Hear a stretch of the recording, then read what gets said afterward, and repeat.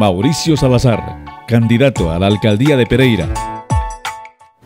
Yo no voy a discutir si ser el candidato de Petros es bueno o malo, pero lo que es verdad es que yo no tengo nada que ver con, la, con Petro. El partido político de Petro se llama Colombia Humana y Colombia Humana tiene candidato a la alcaldía y se llama Oscar Cruz.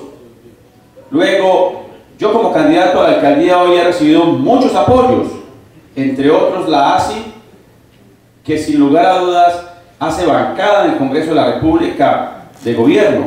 Pero si usted revisa hoy, Michael Opera está coavalado por Colombia Renaciente, que hizo parte del pacto histórico.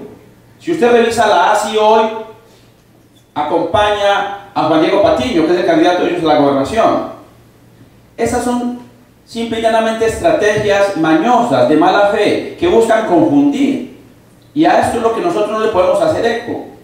Y acá es donde yo no me puedo enganchar con ellos, porque no es un contraste de ideas, de propuestas, es un contraste de falacias, de engaños, que lo único que buscan es esto, generar zozobra, generar una total atmósfera de confusión en el ambiente de los periranos y los electores.